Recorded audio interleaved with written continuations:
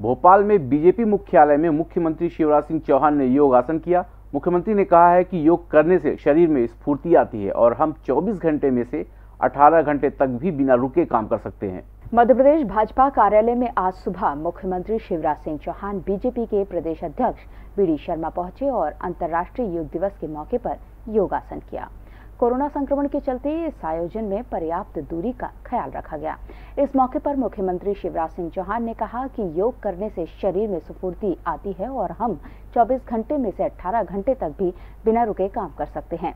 यह योग अभ्यास से संभव है, इसीलिए योग को अपनी दिनचर्या का हिस्सा बनाएँ उनके साथ पार्टी के प्रदेश पदाधिकारी और कार्यकर्ताओं ने भी योग किया। मुख्यमंत्री ने कहा कि प्रधानमंत्री नरेंद्र मोदी की पहल से आज सारी दुनिया के लोग योगाभ्यास कर रहे हैं।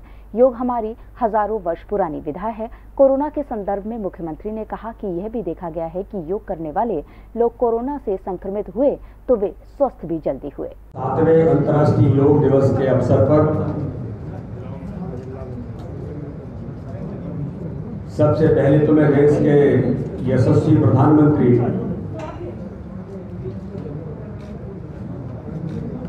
और जिनको अगर हम कहें इस दुनिया के अंदर, एक युग पुरुष के नाम से जिन्होंने अपना स्थान बनाया है, ऐसे आदरणीय नरेंद्र मोदी जी को मैं बहुत शुभकामनाएँ देता हूँ। और इस बात के लिए आज इस योग दिवस पर हम उनको बधाई देते हैं कि पूरी दुनिया के अंदर भारतीय संस्कृति को योग के माध्यम से एक सौ तिरानवे देशों की सहमति के साथ संपूर्ण दुनिया, जो भारतीय संस्कृति में हम लोग कहते हैं कि जो वसुधैव कुटुंबकम की कल्पना के आधार पर हम जाते हैं, सर्वे भवंतु सुखिना, सर्वे संतु निरामया, संपूर्ण विश्व निरोगी बने, इसके लिए माननीय प्रधानमंत्री नरेंद्र मोदी जी के नेतृत्व में अंतर्राष्ट्रीय योग दिवस। केवल भारत की दुनिया के कोने कोने में आज लोग योग के माध्यम से अपने मन, चित्त और शरीर को स्वस्थ बनाने का जो एक अभिनव प्रयोग इस दुनिया के अंदर माननीय प्रधानमंत्री जी ने किया है।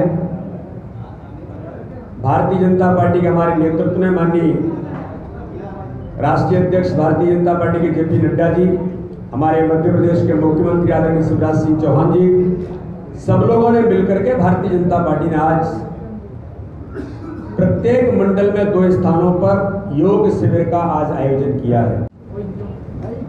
शरीर, माध्यम है सब धर्मों के पालन करने का, कर्तव्यों के निर्वाह का और शरीर स्वस्थ रहे, निरोग रहे। हमारे यहाँ कहा गया, पहला सुख निरोगी काया। शरीर स्वस्थ और निरोग रहे। इसकी कला और विज्ञान है योग। और इस योग को केवल देश में नहीं, दुनिया में प्रतिष्ठित किया है।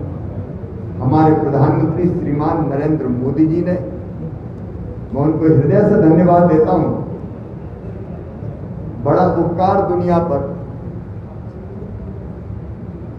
मैं मानता हूँ कि योग को प्रतिष्ठित कर किया गया और दुनिया के एक सौ तिरानवे देश आज अंतर्राष्ट्रीय योग दिवस पर योग कर रहे हैं।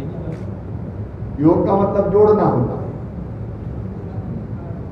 आत्मा को परमात्मा से जोड़ना। और इसके आठ अंग हैं। अष्टांग योग। यम नियम आसन प्राणायाम प्रत्याहार ध्यान धारणा समाधि। लेकिन अगर इसमें से सामान्य जन अगर आसन और प्राणायाम भी करें, जो अभी हम लोगों ने किए हैं, जो प्रधानमंत्री जी और योग गुरु करवा रहे हैं तो शरीर को स्वस्थ रखा जा सकता है, निरोग रखा जा सकता है, प्रसन्नता से मन भरा जा सकता है। इसलिए योग जीवन में ज़रूरी है निरोग रहने के लिए भी। संगीत की स्वर लहरियों से सांस्कृतिक ताने बाने तक चंबल के पीड़ों से नक्सलवादियों के गढ़ तक झोपड़ी से महलों तक ठेलों से मेलों तक पगडंडियों से सड़कों तक गाँव से शहरों तक व्यापार से उद्योगों तक राजनीति से कूटनीति तक। दखन न्यूज़। आपके हक।